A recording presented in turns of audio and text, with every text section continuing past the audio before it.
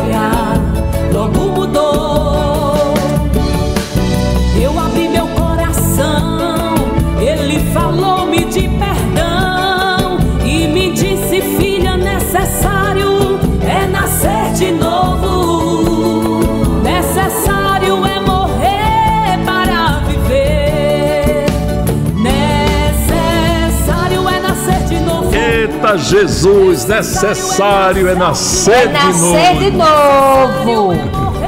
Bom dia, povo de Deus. Bom Todo dia, dia bom nós temos dia. que nascer. Bom dia, bom dia. É necessário nascer de novo. Ô glória. Bom dia, família Pão da Vida. Que Deus venha nos abençoar nessa manhã.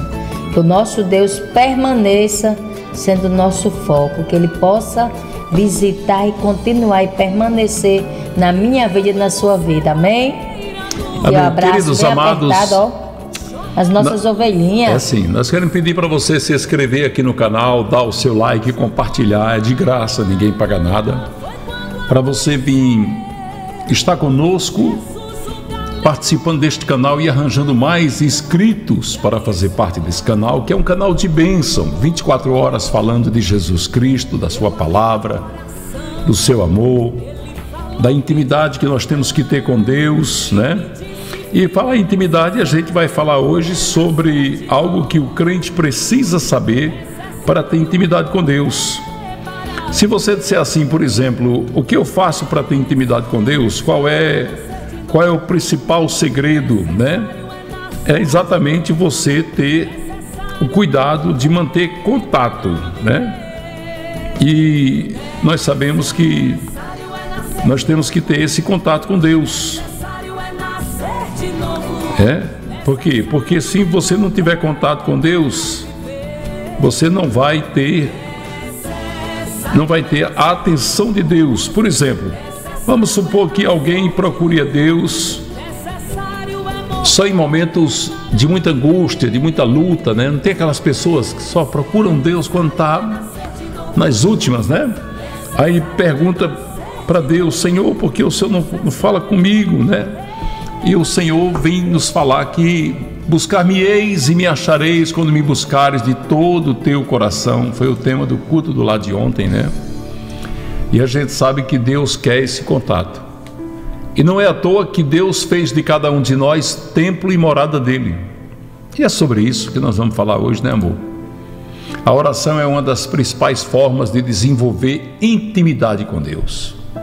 A oração de um justo é poderosa e eficaz e pode muito em seus efeitos, e ela é uma das principais armas de todo aquele que crê em Deus. Podemos buscar Deus todos os dias, em todos os momentos, e o melhor, em todo lugar. Talvez eu esteja falando aqui para alguém que, assim como eu, um dia ou na atualidade precisou marcar horário para ser recebido por alguém. Quantas pessoas não existem na fila do SUS com exames marcados para seis meses, daqui seis meses? Quantas pessoas não procuraram pessoas que se acham importantes, mas são tão mortais como nós?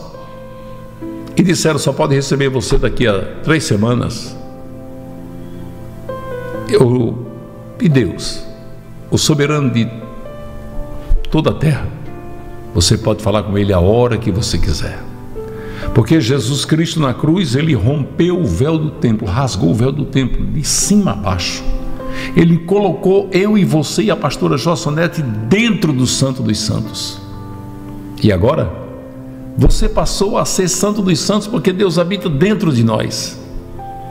Ele disse: Eu não mais habitarei em templos feitos pela mão, da mão dos homens, Por isso que ele fez de nós o templo e a morada dele.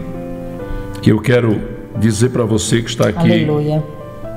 nesta noite que Deus ele tem algo importante para a sua vida. Que é exatamente nesta nesta oração, nessa meditação e nesta oração falar para você que ele é um Deus presente, disponível, acessível a todas as horas. E qual é o principal canal para chegar até Deus? Hã? Uhum. Você vai sacar dinheiro num caixa, tem que ter um cartão. Você vai entrar em qualquer lugar, tem que ter uma identificação, tem que ter um, algo vai lhe dar acesso Verdade. àquele lugar. E para entrar na presença de Deus, para ouvir a voz dele, para falar com ele, qual é? A oração. Aleluia, verdade. A oração. A oração com lágrimas, a oração com sofrimento, a oração, ela, ela faz coisas maravilhosas porque ela chama a atenção de Deus. Olha o Salmo 4, versículo 3. Saiba que o Senhor escolheu o piedoso, o Senhor virá quando eu invocar. Deus escolheu aquele que é Aleluia. piedoso, que tem piedade, aquele que sofre com o sofrimento dos seus Louvado irmãos. Seja teu nome, Senhor. Olha que coisa linda. Deus nos escolheu e ouve a nossa oração. Ele ouvirá quando invocar, ou seja, Aleluia. ouvirá quando você orar. Olha o Salmo 65, versículo 2. Ó tu que ouves a oração, a ti virão todos os homens. Aleluia. A Bíblia está dizendo que todos os homens busca, buscarão a Deus. Todos aqueles que amam a Deus buscarão a Deus. Aleluia. Mas preste atenção numa coisa importante. Salmo 66, versículo 18. Se eu acalentasse o pecado no coração, o Senhor não me ouviria. Isso é importante. Aleluia. Se eu acalentasse, quer dizer, se eu recebesse aquele pecado de estimação, né? Quando você acalenta uma criança, ah, ah, ah, se você tivesse um tratamento especial assim com um pecado, se você dissesse para você mesmo, eu amo Deus, mas esse pecado eu não posso deixar, a palavra está dizendo que Deus não ouviria a sua oração. Por quê? Porque você colocou aquele pecado acima do desejo de Deus de lhe fazer santo. Aleluia. Tiago capítulo 5, versículo 16, amor. Portanto, confesse os seus pecados uns aos outros e ore uns pelos outros para serem curados. A oração de um justo é poderosa e eficaz. Aleluia. Louvado Você veja aqui que a Bíblia Sagrada está dizendo que nós devemos ter diálogo, conversar com os irmãos, irmãos de confiança. Aleluia, verdade. Porque tem gente que não pode escutar o seu pecado, senão o seu pecado vai estar. Tem, tem crente que é o famoso difusor a gospel. O que ele escutar de você, ele conta para todo mundo. Mas tem pessoas de confiança, tem irmãos que você vai contar o a situação que você está vivendo, tem irmãs que você pode confiar e ela vai orar por você. Porque quando nós admitimos um pecado, é mais fácil a gente renunciar a esse pecado quando ouvimos conselho de pessoas Aleluia. de Deus. Olha aqui que Jesus falou em Marcos capítulo 11, versículo 24.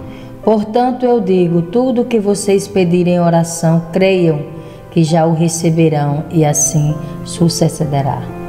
A palavra de Deus é uma palavra muito maravilhosa, Aleluia. Ela traz muitos ensinos para nós. E Deus nos ensina que através da nossa oração nós vamos conseguir exatamente tocar o coração de Deus. Veja como Deus se expressa para aqueles que vão orar. Você veja que a Bíblia diz que antes que a gente ore, Deus já está ouvindo o que vamos dizer. Olha Isaías capítulo 65, versículo 24. Antes de clamarem, eu responderei. Ainda não estarão falando e eu ouvirei. Você Aleluia. veja Deus dizendo assim: antes de vocês pedirem, eu já vou estar respondendo. Para você ver como a oração é forte. Mas por que, que Deus está dizendo isso? Ele está dizendo antes que vocês orem. Ele não disse não precisa nem orar. Ele disse antes que vocês orem. Antes que vocês clamem. O nosso Deus, amados, ele gosta muito de ser procurado pelos seus filhos. Ele gosta muito de um diálogo com você. E nós não devemos ter aquela oração repetida.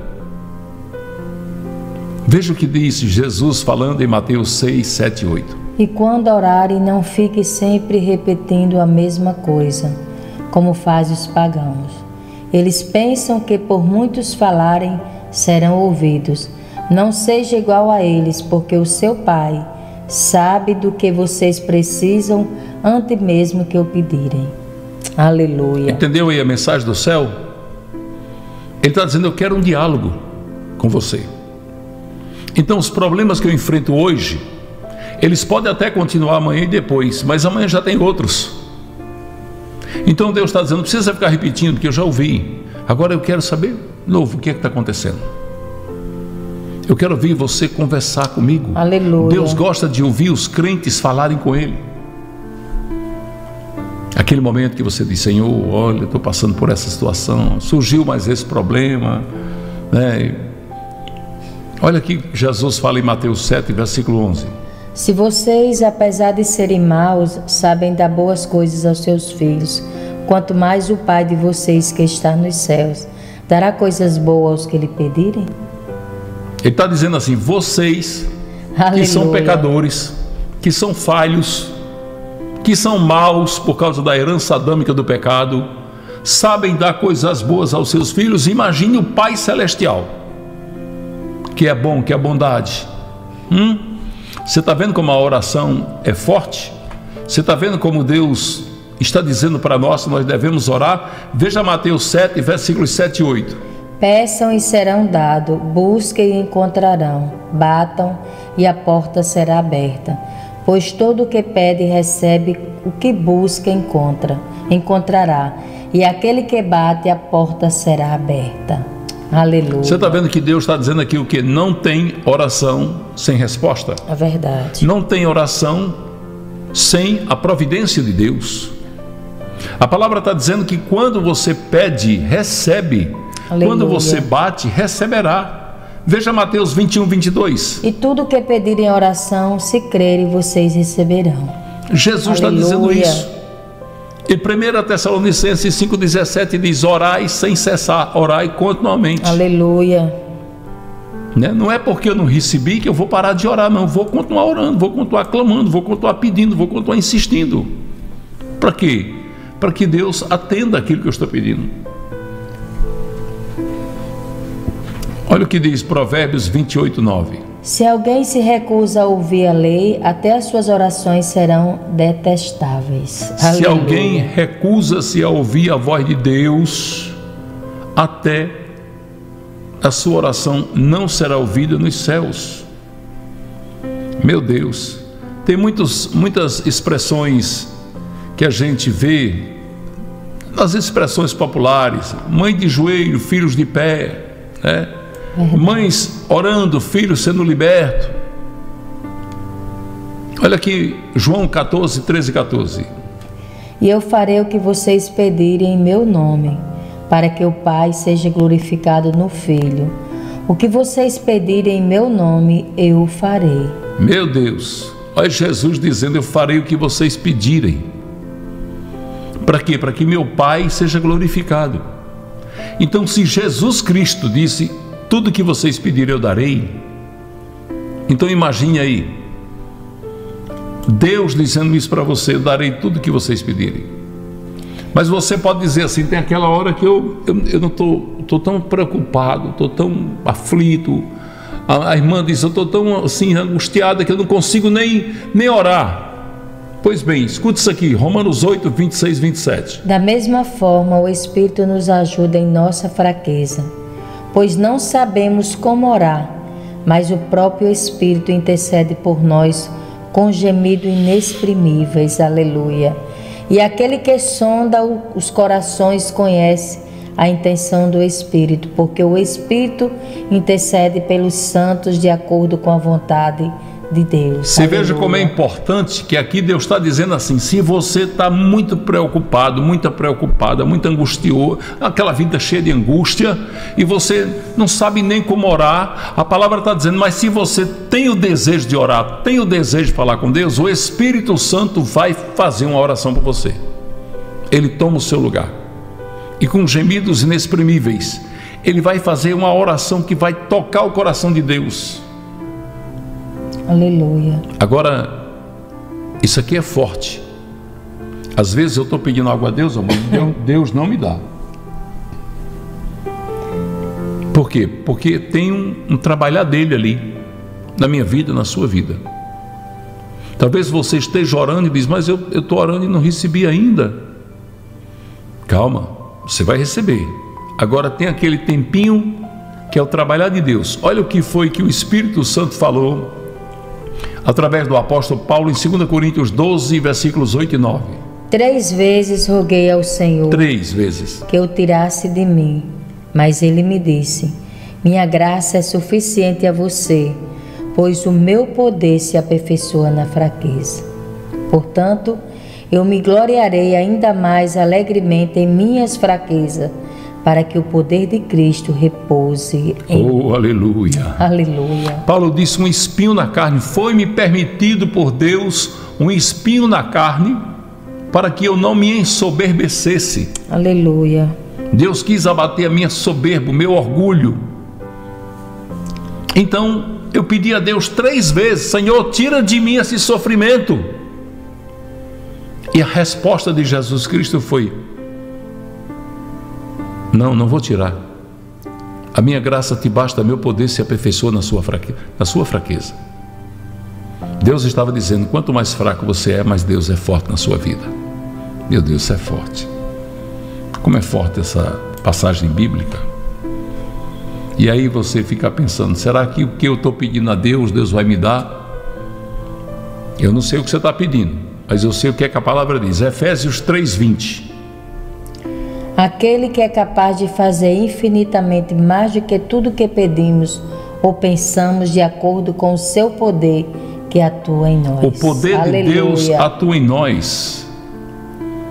A palavra está dizendo que Deus faz muito mais do que o que pedimos, pensamos ou imaginamos. Você está entendendo isso? Veja como é forte isso. O poder de Deus que atua em nós, meu Deus. O Senhor está dizendo assim: olha eu faço mais do que o que você quer. Um exemplo, você pede 10, eu dou, dou logo 100 logo. Eu quero ver você feliz. Eu quero ver você alegre. E às vezes a gente fica triste, fica pensando que Deus não está nos vendo, que Deus não está ouvindo a, a nossa oração, mas isso é um engano da nossa parte, porque Ele sempre está ouvindo, Ele sempre vai ouvir, Ele sempre vai abençoar. E é por isso que nós vamos orar agora. E nessa oração nós vamos exatamente pedir a Deus, dizendo para Deus, Pai querido, Deus Sim, amado. Meu Deus. Tudo que nós pedimos ao Senhor, Pai, Obrigada, Senhor. é que o Senhor nos ajude a perseverar na fé. Ah, Pai querido, nos ajuda, Pai, é, pai. a perseverarmos, a buscarmos a Tua face gloriosa a termos, Deus, a certeza de que aquilo que pedimos vamos receber. Mas nós queremos pedir sabedoria para esperar o teu tempo, para esperar a hora que o Senhor vai nos abençoar. Pai, nos prepara para viver as tuas maravilhas, para compreender os teus mistérios. Nos prepara para viver, Senhor, aquilo que o Senhor tem para cada um de nós. É Jesus. Enche-nos da tua presença. Sim, pai, assim, e fala aos nossos corações de como, sim, Senhor, Senhor, somos felizes porque temos o Senhor conosco. É, pai, Abençoa, Paizinho querido, Deus amado, as nossas vidas. Sim, Deus. Abençoa, Pai querido, os nossos dias. Abençoa, Pai querido, todos os irmãos e irmãs que acompanham a oração da manhã, que se inscrevem no canal, que dão like, meu Pai.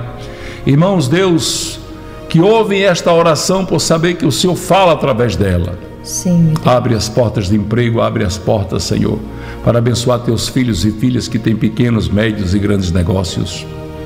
Recompensa, Deus, com o milagre da multiplicação, teus filhos e filhas que estão conosco aqui, Pai, fazendo a tua obra, vivendo, Senhor, a intensidade de estar em tua presença, Deus. Oh Deus, enche-nos, Pai. Sim, Pai. Da certeza das maravilhas que o Senhor tem para cada um de nós. Sim, meu Deus. Abençoa, Paizinho, todos, todos, todos que nos ajudam, dizimistas, ofertantes, é, os que têm votos e propósitos, os que desejam abençoar esta obra. Deus abre as comportas dos céus Sim, e derrama bênçãos sem medidas sobre a vida do teu povo que ama a tua obra, que ajuda a pão da vida a crescer, ganhar almas para o teu reino. Deus, eu peço no nome de Jesus Cristo, abençoa cada irmão, Sim, cada irmã. Pai que tem sustentado essa obra com seu amor. E eu agradeço, Deus, no nome santo do teu filho amado Jesus Cristo. Amém. Amém, Amém papai. Glória a Deus. Glórias a Deus. Obrigado. Inscreva-se no canal, dê o seu like, compartilhe. Arranje mais inscritos para o canal, faça a obra junto conosco. Amém. Ah. Nosso coraçãozinho cheio de amor de Deus, ó. Nosso coraçãozinho apaixonado por Jesus e por nossas ovelhinhas, ovelhinhas queridas. Meu abraço, Ih, cheio do Espírito Santo. Beijo carinhoso em todas as ovelhinhas amadas. Amém. Olha aqui como ele é bonitinha. Daqui a pouquinho tem Bom Dia Jesus. Pastor Chico Chagas, pastora Ângela. No, no culto, culto, do lar. lar. Fica na paz do Senhor Jesus. Deus Bom abençoe. Dia. Opa. Beijo. Fica na paz.